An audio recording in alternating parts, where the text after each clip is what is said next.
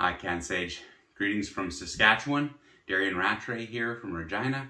Thanks for joining us for CanTok. So I'm going to be talking a little bit about endometriosis tonight. Quick, simple, straightforward. So three targets. You have estrogen, you have inflammation, and you have neuropathic pain. I'm going to be focusing on the neuropathic pain component.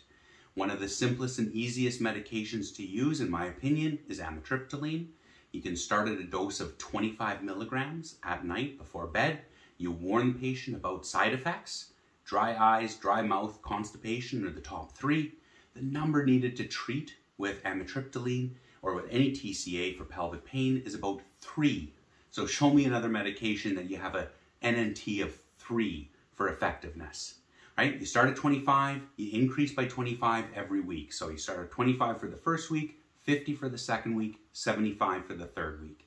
You put the patient in the driver's seat. If she finds that complications or side effects are too much with a dose increase, you back off by that 25 milligrams. You warn them about side effects and uh, hopefully within about a month or so, she's had a reduction in her pain.